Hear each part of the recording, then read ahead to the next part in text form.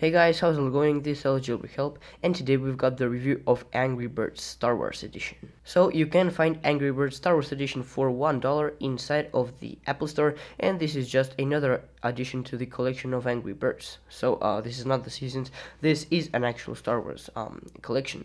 So let's go ahead and launch the game and take a look. So firstly, when you open up the game, you will see that it's like all the other, other Angry Birds, except that this is the Star Wars Edition and it has stuff like that look like Star Wars but you get the play button you get the settings button and all that stuff.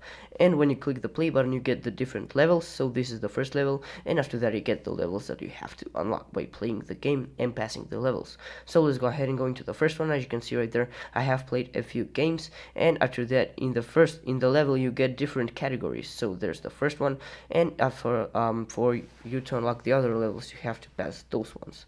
So as you can see the gameplay is pretty much exactly the same except the pigs now are Star Wars and the birds too, and they have powers like in angry, uh, like in Star Wars. So let's just go ahead and launch a bird to take a look. As you can see right there, you still aim the exact same way, and pretty much all of that is uh, the same, except that it looks like Star Wars and is really really nice. And also another addition is that the pigs now actually attack you. So as you can see right there, the pig is throwing red things, and actually if um, the red thing hits you, the bird gets uh, hit and it cannot use its special powers anymore and so you have to restart the game and find a way to attack without getting hit by the pig. But so yeah guys that's pretty much it. Just want to quickly show you angry birds um, Star Wars edition. Again you can find for one dollar inside of the Apple Store and in my opinion it is completely worth it.